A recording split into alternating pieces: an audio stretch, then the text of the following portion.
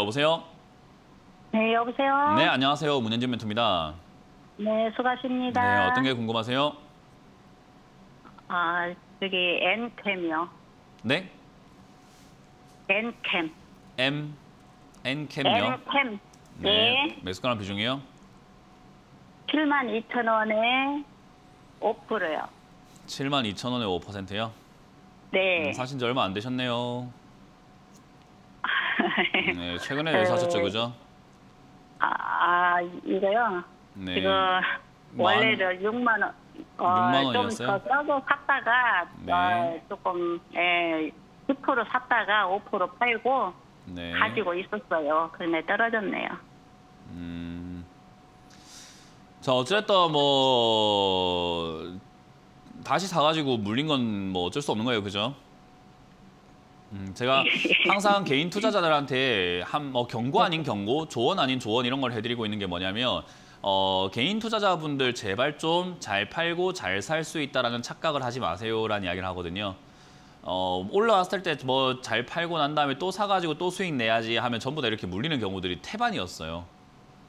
왜냐하면 이 개인 투자자들은 뭔가 차트를 본다든지 매수를 어떻게 해야 된다, 뭐 매도를 어떻게 해야 된다라는 어떤 경험과 노하우가 있는 것이 아니라 수익이 났네, 그럼 또 사면 또 수익 나겠지 하는 그런 아주 막연함으로 투자를 하고 있거든요. 그러니까 이건 투자라기보다는 사실은 도박에 가까운 거고 그냥 돈을 허공에다 뿌리는 것과 같- 마찬, 마찬가지인 거예요. 그래서 이렇게 뭐 샀던 종목으로 수익을 냈는데요, 다시 들어갔어요, 뭐 팔았는데 어떻게 됐어요, 이렇게 하지 않으시는 걸 앞으로 추천드려 보도록 할게요. 이해가 되세요? 네. 이거 특히나 2차 전지 관련주들은요. 지금 아직까지 끝난 테마는 아니기 때문에 뭐 변동이 좀 있을 것 같긴 해요. 그래서 어, 지금 여기서 끝날 것 같지는 않고 저는 단기 급등이라든가 조만간 상승세 다시 한번 나와줘가지고 약간의 쌍바닥 형태를 이렇게 만들어 줄 거라고 보거든요. 그럼 저는 7만 원까지 왔을 때 이 자리에서 어떤 뉴스와 어떤 테마가 형성이 되느냐에 따라 가지고 얘는 9만 원 이상까지 갈 수도 있고 저기서 만약에 뉴스가 제대로 나오질 못하면 또 떨어집니다. 그러니까 저 7만 원짜리는 들어가야 되는 자리가 아니고 이렇게 사야 되는 자리가 아니고 어떻게 되는지 보고 대응을 해야 되는 자리였던 거예요. 그러니까 이번에 올라오게 되면은 저는 개인적으로는 뉴스를 보고 홀딩을 할 수 있다면 홀딩하는 게 맞는데 뉴스와 분위기를 파악을 못 하겠다 하신다면 한 7만 원에서 일단은 파는 게 맞다고 저는 봅니다. 할 줄 알면 가져가는 게 맞는데 못하면 안 하는 게 맞는 거거든요. 이해가 되세요? 네. 네, 그래서 이 7만 원까지 올라왔을 때 상황이 괜찮으면 가져가는데 그 파악이 너무 힘들다 하면 전화를 하시고 전화 연결 안 되면 그냥 파세요. 그냥 전량 매도하시길 바랍니다. 저는 원래 오늘 5% 정도 더 에, 매수를 할까 했거든요. 어, 승부수를 띄우는 건데요. 그 정도 이제 배짱이 있다라고 하시면 상관없어요. 이거 생각하세요. 어, 어, 오늘 내가 사면 빠질 수도 있다라고 생각 한번 해보세요. 그래도 괜찮으면 오늘 추가 매수해도 괜찮아요. 그건 제가 말려도 아무 의미가 없기 때문에 오늘 사면 내일 빠질 수 있습니다. 빠질 거예요. 근데 괜찮겠습니까? 근데 내가 내일 빠져도 난 일단 오늘 사야 되겠어라는 생각이 든다면 추가 매수 반드시 하셔야 됩니다.